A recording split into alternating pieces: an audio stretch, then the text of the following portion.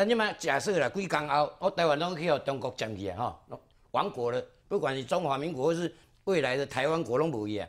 啊，强啊占已经占台湾了。你觉得他可以吃得掉台湾吗？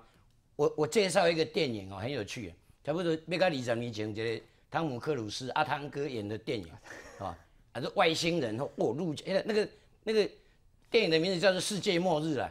外星人或我要做恐怖的这些机器的怪兽占领了整个地球，哎，结果地球人束手无策啊。但是后来那个那个外星人都就突然间死光光瓦解了，为什么你知道吗？因为外星人没有接触过地球的感冒的病毒，感冒，一旦感冒病毒接触到，二十四啊！啊，这个其实这个中共委如果来占领台湾哦，会出现一个现象，他他没有忽略掉共产党不能接受的两个病毒，第一类是民主了，嗯，你不可能把台湾人一下子杀光光嘛，一定有一些至少有一些统派的吧，哈，会留下来。好，在病毒它会传播一些民主的信息到中国来对。共产党都要操你蛋了。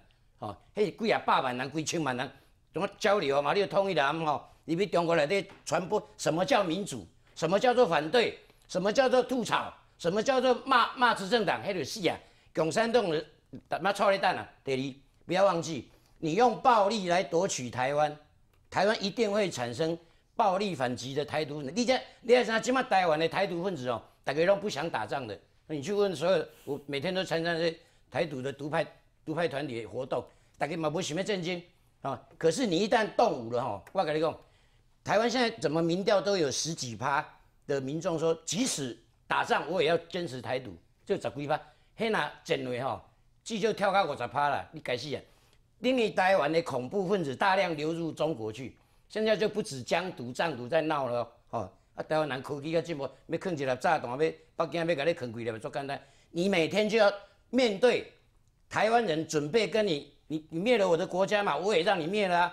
啊，给我就讲不盖固啊。